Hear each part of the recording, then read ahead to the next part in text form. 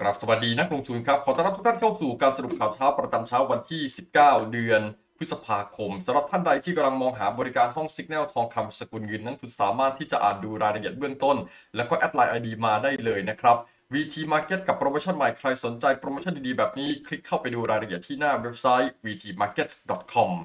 for for you นะครับนักทุน เพียงแค่ชวนเพื่อนของนักลงทุนเข้ามาสมัครหรือว่าเปิดบัญชีเนี่ยนักลงทุนจะได้รับทันทีเลย 50 US ดอลลาร์เป็นรางวัลโบนัสนะครับ XM เปิดบัญชีวันนี้ รับโบนัสทันที 30 US ดอลลาร์โดยที่ยังไม่ต้องฝากเงินครับผมสวัสดีนักลงทุนครับ สรุปข่าวเช้ากับกระผมกูเปานะครับ เราพาทุกท่านไปดูดัชนีในตลาด Wall Street กันก่อนเลยครับ ดัชนีเฉลี่ยอุตสาหกรรมดาวโจนส์ปรับตัวปิดลบไป 3.57% S&P 500 ปรับตัวปิดลบ 4.04%แล้วก็ NASDAQ ปรับตัวปิดลบมากที่สุดเลยครับ 4.73% ดัชนีดาวโจนส์ตลาดหุ้นนิวยอร์กปิดร่วงลงกว่า 1,100 จุดในวันพุธที่ผ่านมา ซึ่งเป็นการซุดตัวลงในวันเดียวที่รุนแรงที่สุดเลยนับตั้งแต่เดือนมิถุนายนปี 2563 เนื่องจากนักลงทุนกังวลว่าภาวะเงินเฟ้อในสหรัฐเริ่มส่งผลกระทบต่อผลประกอบการของบริษัทค้าปลีกนอกจากนี้ตลาดยังถูกกดดันจากการที่นายเจอโรมพาวเวล ประธานธนาคารกลางสหรัฐยืนยันว่า เฟดไม่ลังเลที่จะปรับขึ้นอัตราดอกเบี้ยสูงสุดเท่าที่จำเป็นเพื่อสกัดกั้นเงินเฟ้อครับ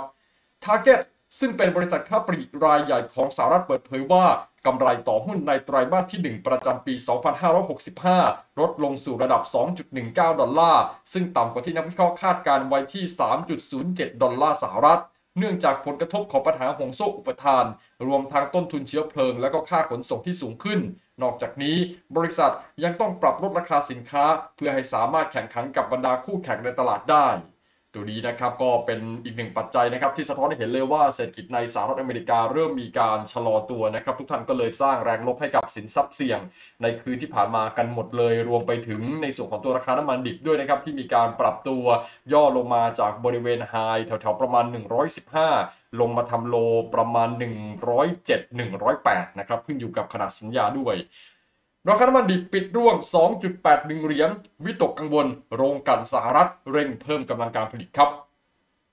สัญญาน้ำมันดิบเวสต์เท็กซัส WTI ตลาดนิวยอร์กปิดร่วงลงติดต่อกันเป็นวันที่ 2 ในวันพุธ หลังมีรายงานว่าโรงกลั่นน้ำมันในสหรัฐ เร่งเพิ่มการผลิตเพื่อรับมือกับสต็อกที่ลดลงอย่างมาก นอกจากนี้ ตลาดน้ำมันยังได้ปรับตัวลดลงตามทิศทางของตลาดหุ้นสหรัฐที่สุดตัวลงอย่างหนัก เนื่องจากความกังวลเกี่ยวกับวิกฤตเงินเฟ้อ สัญญาน้ำมันดิบร่วงลงหลังจากมีรายงานว่าโรงกลั่นน้ำมันในสหรัฐต่างก็เร่งการเพิ่มการผลิตน้ำมัน เพื่อรับมือกับสต็อกเชื้อเพลิงที่ลดลงอย่างมาก โดยขณะนี้ศักยภาพการกลั่นน้ำมันในเขต East Coast และก็ Gulf Coast อยู่เหนือระดับ 95%ซึ่งบ่งชี้ว่าบรรดาโรงกลั่นได้ดำเนินการผลิตใกล้ถึงขีดจำกัดสูงสุดแล้ว สำนักงานสารสนเทศด้านพลังงานของรัฐบาลสหรัฐหรือว่า EIA เปิดเผยว่า สต็อกน้ำมันดิบสหรัฐลดลง 3.4 ล้านบาร์เรลในสัปดาห์ที่แล้วสวนทางกับที่นักวิเคราะห์คาดการณ์ว่าจะเพิ่มขึ้น 1.4 ล้านบาร์เรลในสัปดาห์ครับ ในสัปดาห์ ปัจจุบันนี้นะครับ ส่วนสต็อกน้ำมันดิบที่เมืองคูชิงรัฐโอคลาโฮมา ซึ่งเป็นจุดส่งมอบสัญญาน้ำมันดิบล่วงหน้าของสหรัฐลดลง 2.4 ล้านบาร์เรล นอกจากนี้สต็อกน้ำมันเบนซินนะครับ 4.8 ล้านบาร์เรลที่มีการปรับตัวลดลง ซึ่งเป็นตัวเลขที่มากกว่าที่นักวิเคราะห์คาดการณ์ว่าจะลดลง 1.3 ล้านบาร์เรล นักลงทุนจับตาความคืบหน้าเกี่ยวกับรายงานข่าวที่ว่าสหรัฐจะผ่อนคลายมาตรการคว่ำบาตรด้านพลังงานต่อเวเนซุเอลา เพื่อเปิดทางไปสู่การเจรจาระหว่างฝ่ายรัฐบาลและฝ่ายค้าน ที่มีสหรัฐหนุนหลังอยู่ครับ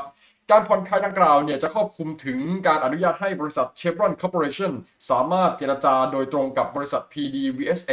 ซึ่งเป็นบริษัทน้ำมันแห่งชาติของเวเนซุเอลาทั้งนี้เวเนซุเอลาซึ่งเป็นหนึ่งในสมาชิกกลุ่มประเทศผู้ส่งออกน้ำมันหรือว่าโอเปกกำลังประสบกับปัญหาการส่งออกน้ำมันที่ลดลงต่ำสุดในรอบหลายทศวรรษ เนื่องจาก PDVSA ถูกกระทรวงการคลังสหรัฐคว่ำบาตรครับ ปิดท้ายกันที่ข่าวสารของราคาทองคำกันครับนักทุนครับโดยภาพรวมก็มีการย่อตัวกลับลงมา ปิดลบไปประมาณ 3 US ดอลลาร์นะครับเหตุก็คือดอลลาร์แข็งกังวลเฟดขึ้นอัตราดอกเบี้ย สัญญาทองคำตลาดนิวยอร์กปิดลบในวันพุธที่ผ่านมา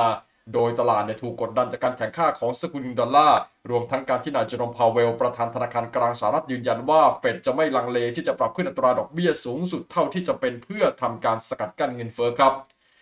สิ่งที่เราต้องการเห็นก็คืออัตราเงินเฟ้อที่ชะลอตัวลงอย่างชัดเจน และเราจะดำเนินนโยบายคุมเข้มด้านการเงิน ไปจนกว่าจะเห็นสิ่งนั้น หากเราไม่เห็นว่าเงินเฟ้อชะลอตัวลงตามที่คาดหวังไว้ เราก็จะใช้นโยบายคุมเข้มทางการเงินที่แข็งกร้าวมากขึ้นไปอีก นี่คือการคอมเมนต์ของประธานธนาคารกลางสหรัฐครับ และนี่คือทั้งหมดที่เรานำมาสรุปกันครับในช่วงเช้าวันนี้ สวัสดีครับ